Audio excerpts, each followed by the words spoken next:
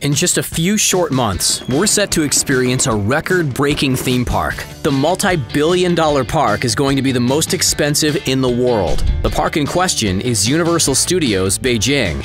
This facility has been in the works for seven years. Today, we're going to take an in depth look at the entertainment complex. We'll see the history behind its creation and the amazing facilities and lands the park will hold, including Harry Potter amusements. We'll also look at the main area where the park will be based, the Universal Beijing Resort. With its stunning hotels and interesting commodities, let's get started.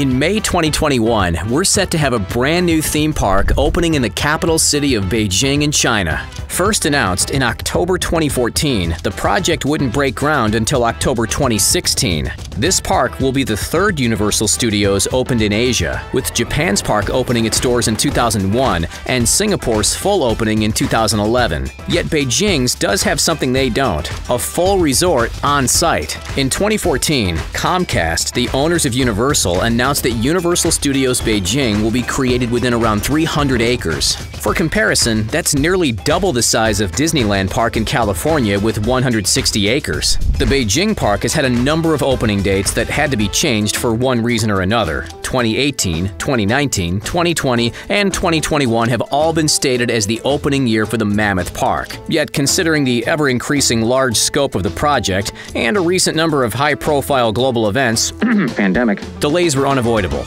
A park of this magnitude doesn't come cheap.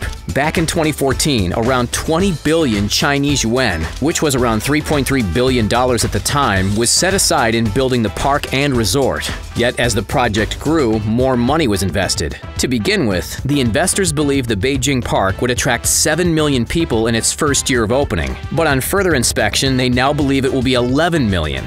As such, the budget grew and nearly doubled to a staggering $6.5 billion in 2018, making it the most expensive theme park in the world. This universal cash surpasses the reported 5.5 billion spent on Shanghai Disney Resort in 2016, the previous record holder. Disney managed to attract 11 million people in its first year. Thus, the Beijing team were very optimistic and set about increasing their budget. On top of the attractions that are usually expected at Universal Studios parks, the Beijing park will also feature areas dedicated to Chinese culture. These attractions will take up around 35% of the whole park. This desire is in part driven by one of the park's leading investors, Beijing Shouhuan Cultural Tourism Investment, which was created in 2013. The Chinese culture sections are reported to create around 40,000 jobs for locals, with the first phase of construction requiring 10,000 people.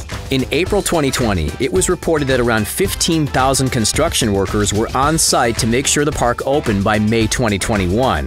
The Beijing Park is set to have seven lands altogether, such as Hollywood Boulevard, and lands for cinematic franchises like Transformers, Kung Fu Panda, Jurassic World, and others that we'll touch on shortly. Each of these lands will feature a number of thrilling rides and tantalizing attractions to appeal to a variety of people. Now for some of the fun facilities the park will have. Since this area has been a massive success in Universal's other parks, the Beijing location will have their own wizarding world of Harry Potter. The magic-filled area will have favorite rides such as the Flight of the Hippogriff and Harry Potter and the Forbidden Journey, the latter of which is said to have cost a massive $150 million to build at Universal's Islands of Adventure in Florida. Universal originally acquired the rights to the Warner Brothers film franchise back in 2007 for their theme parks. They swooped in after Disney's deal with Warner Brothers fell through. The Beijing park will also have Hogwarts Castle and Hogsmeade to explore as well. A favorite amongst children and adults is the Despicable Me franchise. As such, the Beijing location is going to have Minion Land. There, all things Minion related will be for all to enjoy. One of the facilities is the Despicable Me Minion Mayhem Ride. In this ride, you're turned into one of the yellow critters and undergo minion training. By wearing a headset and sitting in an interactive seat, you go on a computer animated adventure, with the original voice cast, such as Steve Carell, involved as well. The animated franchise has been a big success in China. For the most recent film, 2017's Despicable Me 3, it brought in $158 million at the country's box office. For the US, it was $265 million. Altogether, the film brought in a little over $1 billion internationally. One of the oldest and perhaps most bizarre is the long running relationship between Universal Parks and the film franchise Waterworld. In October 1995, the first Waterworld, a live Sea War spectacular, was hosted at Universal Studios Hollywood. The attraction is a 20 minute stunt show that incorporates elements from the 1995 film. The reason it's bizarre is the fact that the film was a flop financially. With a budget of 175 million, it managed to bring in just 264 million at the box office. In cinema, if the box office income is less than double the budget, it's not usually considered successful financially. Who knew? The Beijing park is also set to add the water show to their repertoire. After its popularity in Singapore, the attraction Lights Camera Action will also be constructed in the Beijing Park within the Hollywood Boulevard area. The Singapore version was hosted by legendary director Steven Spielberg. The director will also be involved in its creation in Beijing. He's a three-time Oscar winner with Schindler's List and Saving Private Ryan. He's also considered the godfather of Hollywood blockbusters. You knew that, right? But Spielberg won't be alone in helping out in Beijing. Another iconic director, Zhang Yimou, will be joining Spielberg. Zhang is best known in the West for 2002's Heroes and 2004's House of Flying Daggers. This attraction will give people a glimpse into the filmmaking business. The Beijing attraction will merge both Eastern and Western pop culture and show attendees into the behind-the-scenes secrets of Hollywood special effects. Back in the 80s, Universal agreed a deal with Spielberg that included a clause on their theme parks. He would be a creative consultant on any attractions they make of his films. This deal gave the director 2% of all park revenue. Each year, Spielberg made at least 50 million from this deal.